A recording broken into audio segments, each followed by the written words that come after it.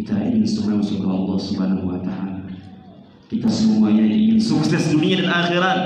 Apa kata Allah Subhanahu wa taala? "Faman zuhziya 'anil nar wa udkhilal jannah faqad faz." Allah Subhanahu wa taala berfirman dalam surat Al-Imran ayat 185, barang siapa yang diselamatkan dari neraka, kemudian dia dimasuk dalam surga, faqad faz, maka sungguh dia menjadi orang yang beruntung.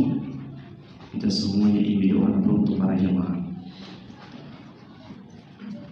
Ketahuilah bahwasanya kita semuanya ingin masuk surga bersama keluarga kita.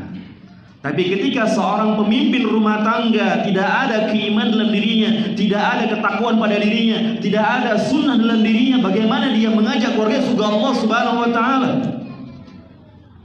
Ini kita bahas bagaimana karakteristik sifat-sifat suami yang soleh agar dia dan keluarganya, istri dan ajak ke surga Allah Subhanahu wa taala. Kita harus mengetahui bagaimana sifat-sifat suami yang soleh. Suami yang soleh di antara sifatnya adalah mereka adalah orang-orang yang mengajak keluarga surga Allah Subhanahu wa taala, bukan sebaliknya mengajak ke neraka Allah Subhanahu wa taala.